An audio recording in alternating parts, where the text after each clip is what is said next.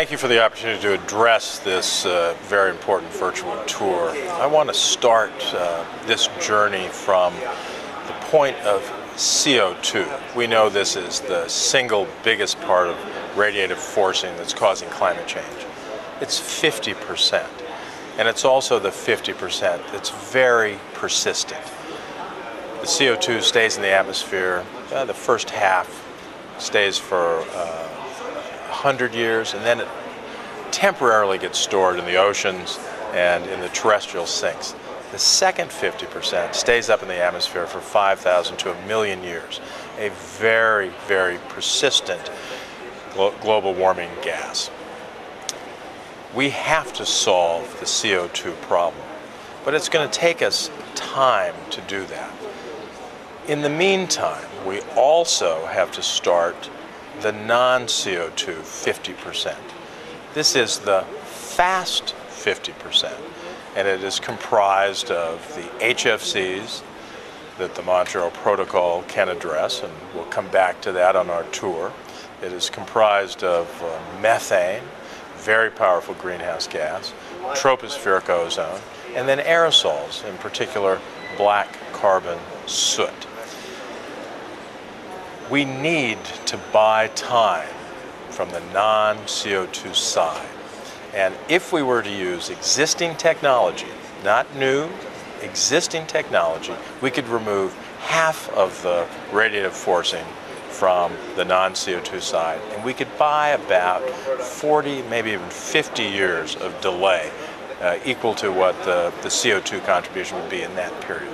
This is a very important safety valve or insurance policy for the world. To cut the emissions from the non-CO2 side, you need technology and then you need a governance system that the world can agree to to bring down these pollutants. With HFCs, we are incredibly fortunate to have as the governance system the Montreal Protocol on substances that deplete the ozone layer. Montreal Protocol is the best environmental treaty the world has ever created. It has universal subscription, 196 parties. Those parties for 23 years have phased out nearly 100 damaging chemicals that warm the climate and destroy the ozone layer.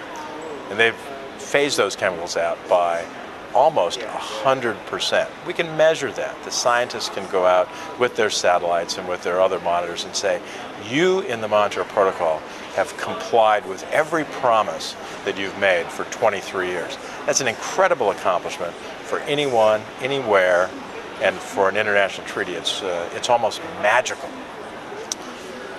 As the treaty has done its job phasing out these chemicals, it has had this incredible additional benefit in saving the climate system. And in fact, all the efforts to address the fluorocarbons have ended up solving amount of the climate challenge that we face that otherwise would be equal to CO2. Now, let me repeat that.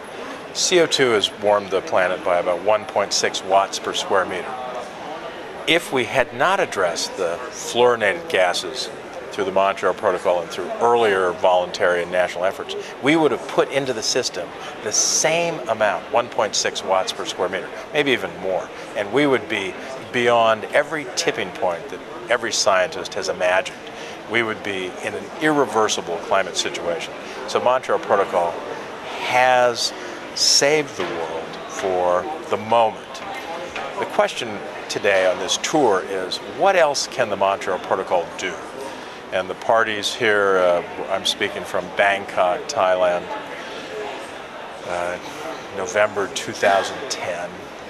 And the island states have come forward first and said, we would like the Montreal Protocol to do more for climate protection. We would like them to phase out HFCs. Let me phrase that even more carefully, to phase down the high GWP HFCs. There are some that look like they may be worth keeping, that could be very good for the climate system, and they have no impact on ozone. So let's say we'll keep some of the, the ones at the lower end of climate impact. The islands have been joined this year by the North American parties, that's Mexico, Canada, and the United States, who have also said We agree. Let's phase down these chemicals. The European Union have said, great idea, we'll join. Japan, many, many other parties uh, have announced this week that they like this idea. There are others who are still struggling with how they would do this, and they're going a little more slowly. But I will predict that the Montreal Protocol will phase down high GWP HFCs in the next year, maybe two. The world needs this so much that the Montreal Protocol will be given this task very soon. The leaders of the world will demand the Montreal Protocol continue its climate protection and continue saving the planet. Thank you.